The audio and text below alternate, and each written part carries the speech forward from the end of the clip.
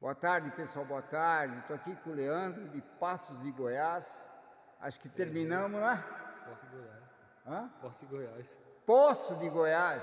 É passo ou poço? Posse. Posse de Goiás. Rapaz, eu não acerto esse nome. Leandro, como é que ficou o motor? Cara, o motor ficou sensacional. Tem nem o que, que dizer, né? A maquininha funcionou muito bem, conforme a gente veio trabalhando na semana e só alegria, né? Agora só fazer os últimos ajustes de hélice aí. O motor em si tá top.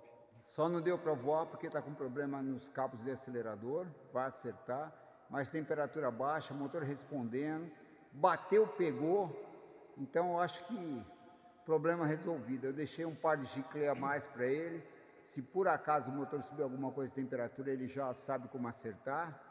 Eu acho que mais um problema resolvido. Feito?